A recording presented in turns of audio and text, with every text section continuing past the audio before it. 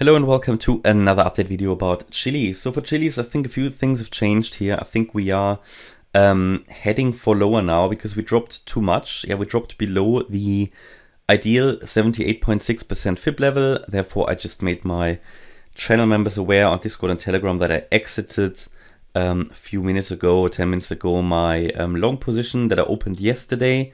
I still have one open that I opened a few weeks ago, but the most imminent one I exited just because it's it's been dropping too far. You know, with trading, you need to know when it's time to leave, and losing trades are part of the business. It's completely normal, and it's just that you shouldn't let them run too long.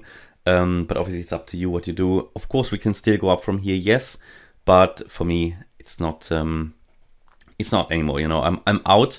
Um, as I said, I still have the that position open that I opened a few weeks ago, so that's fine. Still, I'll leave that open um, just in case we do go up, but that's sort of more my core position. The one that I opened yesterday was more like a short-term long trade. Um, but no, the assumption didn't work out. We went below the key support box, which means we dropped too low, which means the alternative wave pattern gets more likely, which is now the primary. Um, and of course, the, the bullish case hasn't been invalidated here. But I think before we go bullish, we're going to drop much lower. Um, and let's take a look at that we take a look at this and say that from the low, which was here in May, we moved up in a wave one. That has been the sort of the story for the last few weeks anyway. Then we came down here um, first, and the idea was initially that this could have been the wave two low, and that we then started to move up in a wave one. But then the FTX drop, well, caused trouble. We came down um, even lower and we explored the idea, well, okay, we dropped to that level. Was this maybe um, the low from which we can start new bullish potential?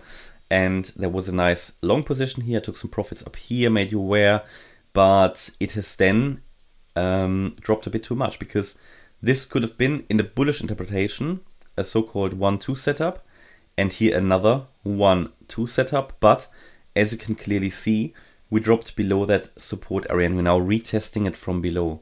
And this support area for this second 1-2 setup, we take a look at that. I need to measure from here. We've dropped below the 78.6 fib level and we are sustaining below it at the moment. Of course, it's still possible to rally from here, but for me, it's getting too risky, too unlikely. And because of that, I'm now looking at another wave pattern. I'm saying that it's for me now more likely, as we've broken the key imminent bullish potential, that this here was just a wave W. I need to take the blue count out, by the way. That this was at wave W. We moved up in a wave X and we're now coming down in a wave Y. Um, I think you can also construct it as a larger ABC, doesn't really matter. A so-called expanded flat where we have an overshooting wave B or X, that's both possible, both possible. And we're now coming down here in a, um, in a quite a sharp decline. And if we take a look at this, then we can say that in this um, wave Y, we've seen a wave A to the downside. That was the drop around the 9th of November when FTX came down. Then this here was just a three wave move to the upside, a wave B, and we're coming down in C. And that can take us down into the region around 12 cents. And there was bullish potential here, but looking at this, yeah, looking at this from a distance, this now looks like that we only had three waves up really, because we failed to recover from the support box. That would have been needed. Now we failed. Complete invalidation of the pattern will occur below 17.9 cents. Now that will be complete invalidation because then you're going below the low from the 14th of November.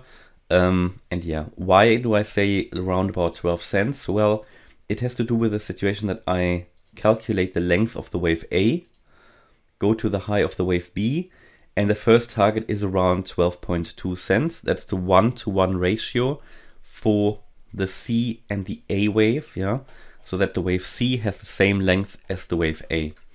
And if I now zoom in and want to label the subwaves, and I have to go for that, when I go to the 30 minute chart.